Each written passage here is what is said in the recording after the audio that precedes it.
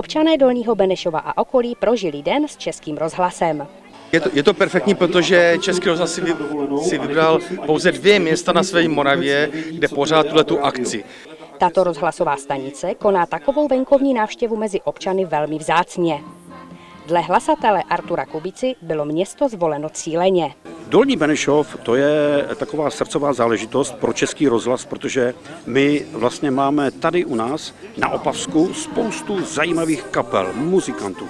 A ti lidi tady jsou trošku jiní než jinde, oni jsou takový více srdeční. Takže eh, tak jako mezi sebe nepustí cizí lidi, tak když přijdete na takovou akci a jsou tam dolnobenešáci nebo prostě tady od Lučína lidi, tak je to takové více sevřené a je to domácí prostředí. Takže když já tady řeknu něco špatně, tak oni to hned vědí a potom mi to dají pěkně, ať si to zodpovím nějak. Akci provázela hudební vystoupení kapel různých žánrů a různých hudebních forem prezentací.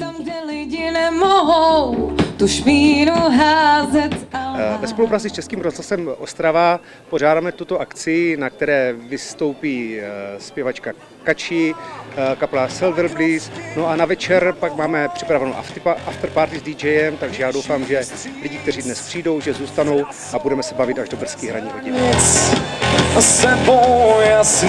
Je to vlastně akce určená našim důchodcům, protože vlastně Český rozhlas poslouchají hlavně naši starší spoluobčané. A myslím, že je super, že ta akce se pořádá vlastně v létě, patří to k létu, bude tu vlastně vystoupení x kapel, folkářů, jo, rokářů, Kromě hudby byla pro hosty připravena široká nabídka pohoštění, o které se postarali některé aktivní spolky a združení. Připravena byla rovněž výherní losovací soutěž o hodnotné ceny.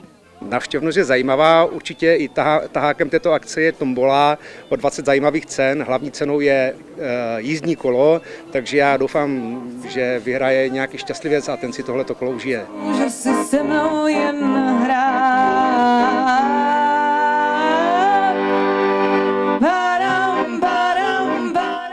Malým hostům udělali radost nafukovací atrakce.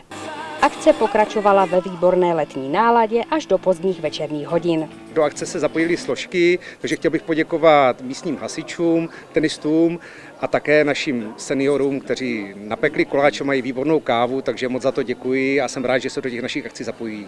Jsem velice rád a potěšen, že opět se občerstvení chytí naše složky. Tady konkrétně to jsou naši hasiči, kteří mají připravené opravdu bohaté občerstvení, včetně jídla, parkourů, placků, chlazeného piva. Takže za to jim taky velký dík, jestli ten čas udělali. Z Dolního Benešova Radana Doležilová.